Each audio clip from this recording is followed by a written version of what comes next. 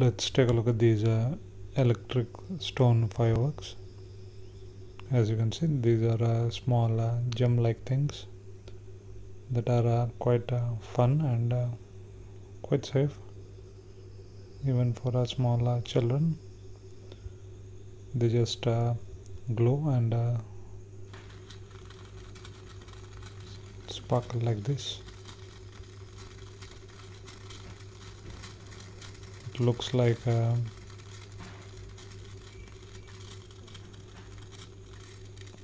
molten lava once they are uh, done. Quite fun. Check it out